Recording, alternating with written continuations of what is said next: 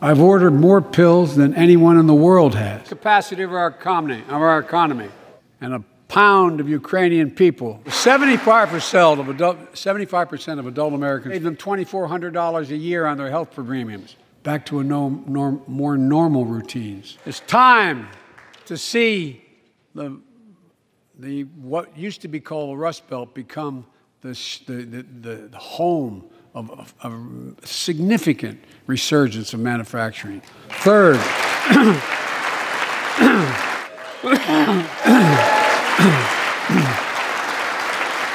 because you can't build a wall high enough to keep out a, a, a, a, vaccine. The vaccine can stop the spread of these diseases. Persecution and violence can have their cases, cases heard faster because I know there's simply nothing beyond our, our capacity.